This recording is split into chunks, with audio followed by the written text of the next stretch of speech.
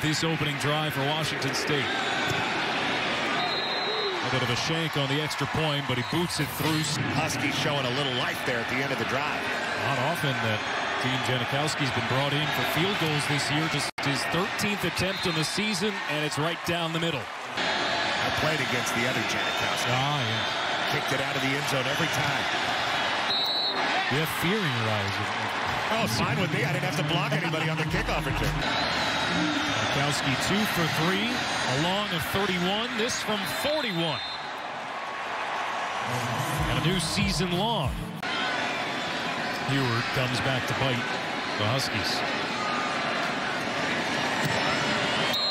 I feel like there should be more mascot celebrations to make it a 20-point lead from 39 yards out.